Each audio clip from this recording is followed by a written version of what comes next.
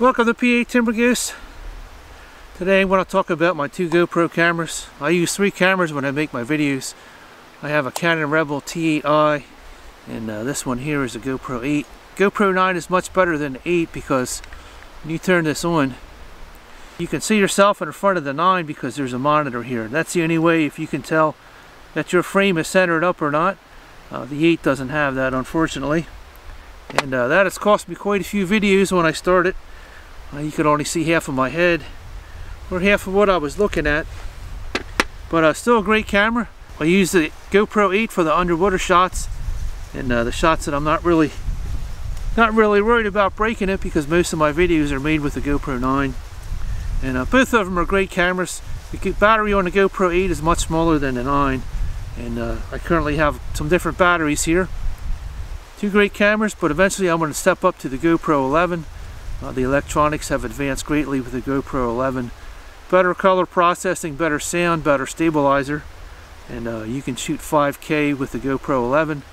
There's a lot of GoPros out there. Most of the videos you see, uh, when they're walking around, you can see the shadow of them holding their GoPro on, the, on a small handheld tripod. So uh, GoPro's the way to go. It had, has some positives and negatives to it. But uh, generally, generally it's a very good camera. Currently I use a medium-sized tripod and I have a magnetic base on here and uh, I'm done with screwing that pin in and out. Well you have a pin there and a pin there and uh, too much taken on taken off.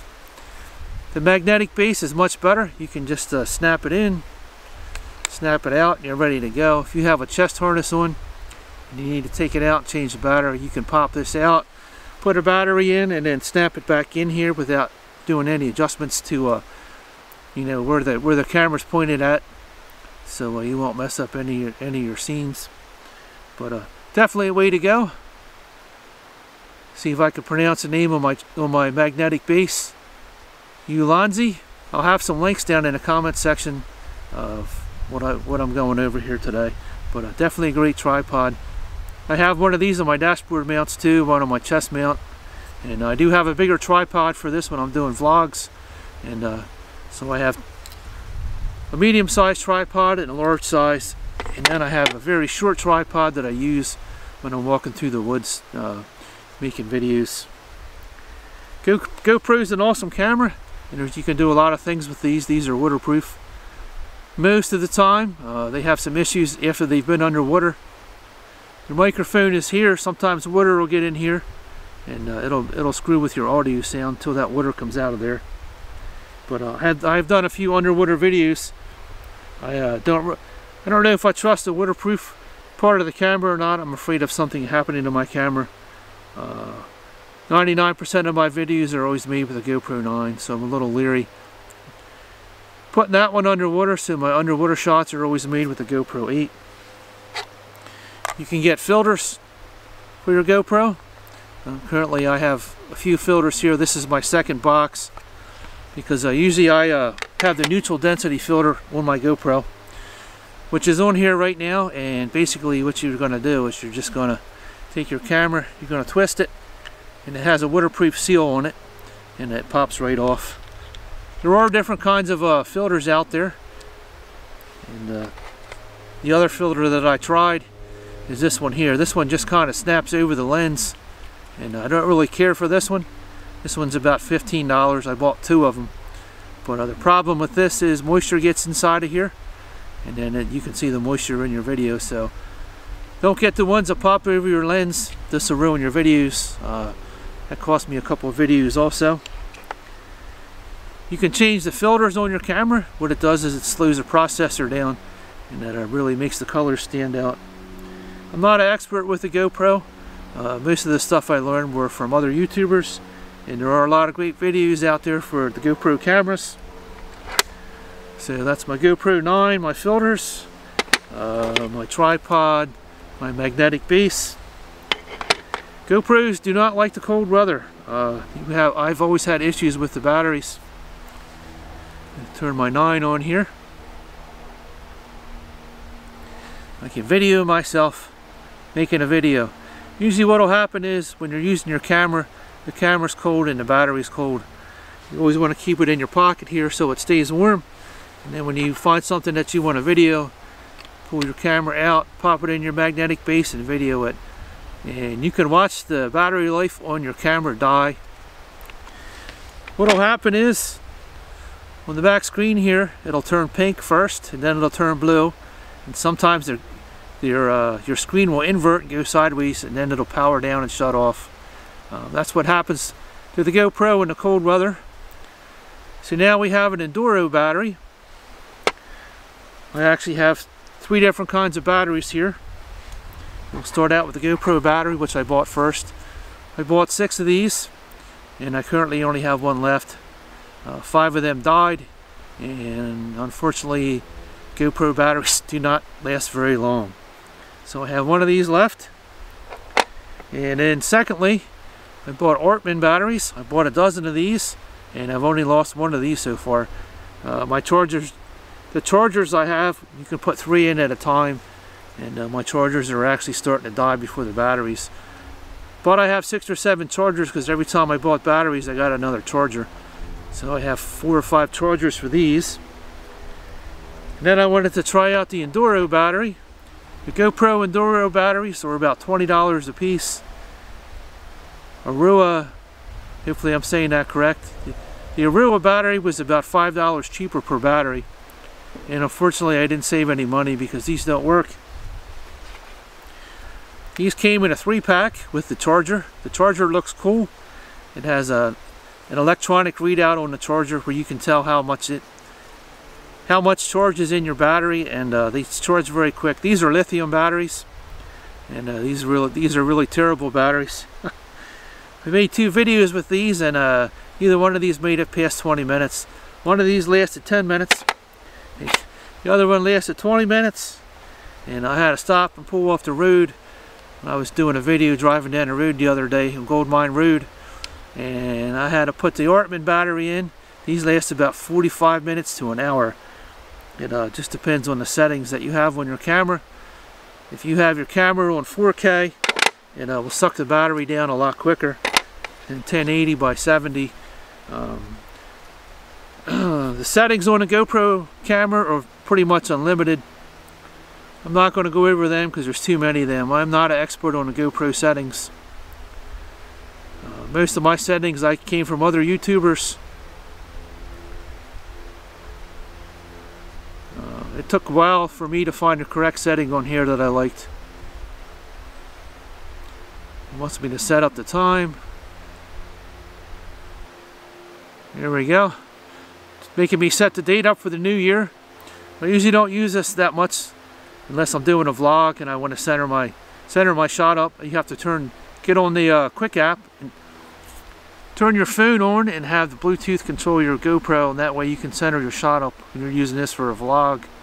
That way you can tell you're in the middle or if you need to zoom in or out. GoPro doesn't have a big zoom. It has a 1 to 2 zoom and uh, the more you zoom it out, the more fisheye effect you get. So mine's kind of in the middle. Mine always, I always have my GoPro set on narrow. Lots of different settings on the back here. Swipe down, tap the back, it'll unlock. And on the back, you can see all the, hopefully my camera can see that. You can see all the settings on here. Now, I'm probably not going to see it. I have standard, activity, cinematic. Standard, I have 4, 4K by 30 linear. Activity is 1080 by 240 linear. When you do activity, it's, it's easier to use the 1080 setting. And most of my videos are shot in cinematic, which is 2.7 by 60 narrow. That uh, gives you very sharp, clean, uh, crisp colors. And the only setting I, I, I adjust in here is usually my um, my lighting. I'll go in and change, change the ISO max, usually between 100 and 800, depending upon how dark it is. 2.7 you can usually see in the dark pretty well and uh, 800 is for when it's darker. If it's really bright I'll turn it down to maybe 100 or 200 that way my color's not washed out. GoPro is an amazing camera.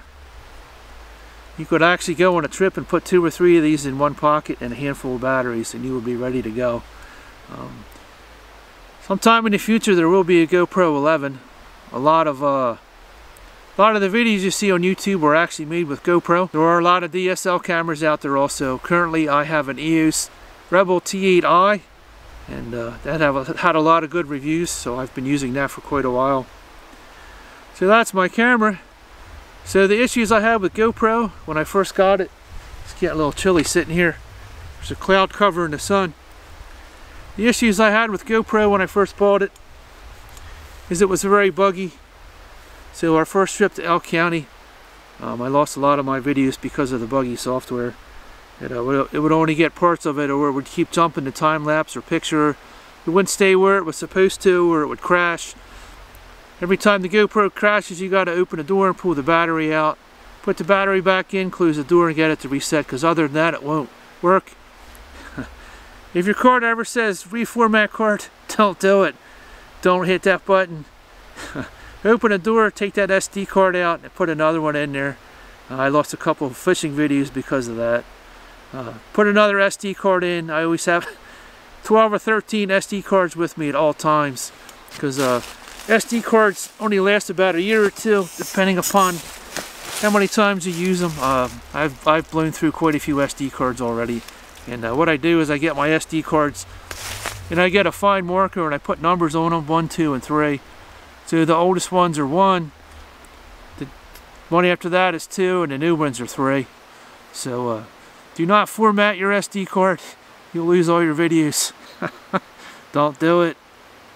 Okay, that's my SD cards. We went over the batteries. You want to use your GoPro when it's really cold. Take some uh, awesome hand warmers. Put a hand warmer on each side. Put a rubber band on it.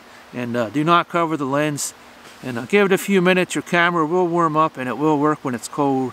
And the battery will last a little bit longer. But uh, you want lots of batteries when it's cold because uh, they don't last Keep your camera in your shirt pocket with a hand warmer and uh, take it out when you want to use it and then when you're not filming put it back. the Moisture Demon. The Moisture Demon, moisture does not like GoPro whatsoever. Uh, a lot of times when GoPros run, when GoPros run they get very warm so they create a lot of moisture. Um, a lot of times when you're making a video it'll start looking foggy. Keep an eye on this or look at the back and you can see if it's foggy. Most of the fog is actually inside of here and what I'll do a lot of times is I will take the lens off and I will film this way. You can see the color change in some of my videos.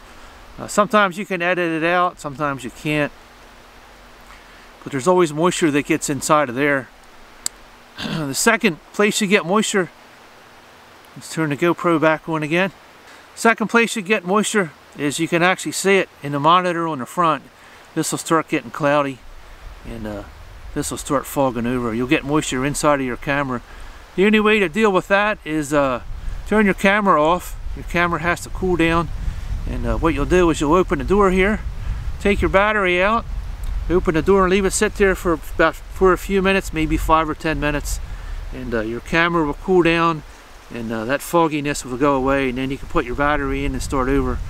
But uh, anywhere you're near a place where there's a lot of moisture, the camera gets very warm and it gets very warm to the touch and uh, it'll create a lot of moisture inside of your camera and ruin your video.